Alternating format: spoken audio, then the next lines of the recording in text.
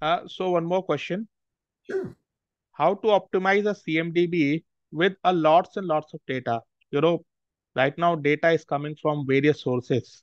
Mhm. So what are the practical ways to optimize that CMDB, which is, you know, having huge data?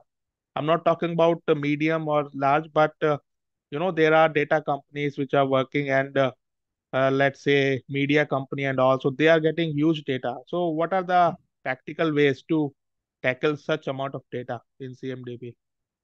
Well, your first phase would always be making sure that you're not you're not you're filtering out all of the items that are retired or not in the ecosystem. So I've worked with companies that have millions of records in the CMDB.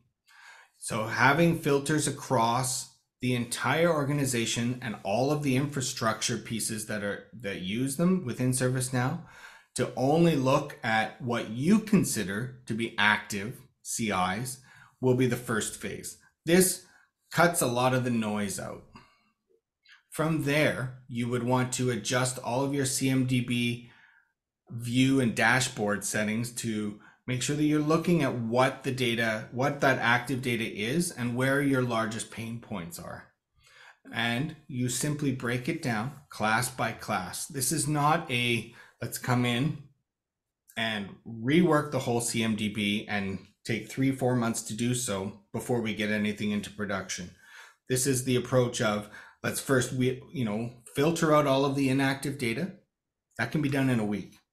Then next week, let's look. Oh, this is the top class Windows Server. We have the most stale CIs for Windows servers. There's thousands of them. Let's address that first and continually work the largest number of records that are impacting you and start cleaning that data up in a journey based approach. You're not going to climb Mount Everest in one day.